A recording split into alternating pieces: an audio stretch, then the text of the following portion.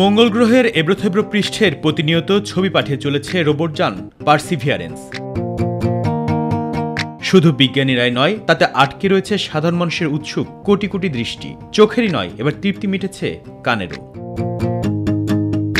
প্রাণের সন্ধানে লাল গ্রহটির বুকে দুই বছরে মিশনে থাকা নাসা রোবটযান পার্সিভিয়ারেন্স শোনালো সেখানকার শব্দ।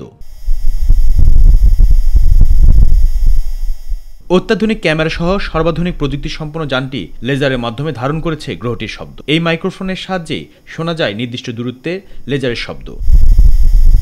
এতে করে লেজারে আলো পড়া বস্তুর ঘনত্ব ও গঠন সম্পর্কে ধারণা পাওয়া যাবে বলে জানিয়েছেন বিজ্ঞানীরা।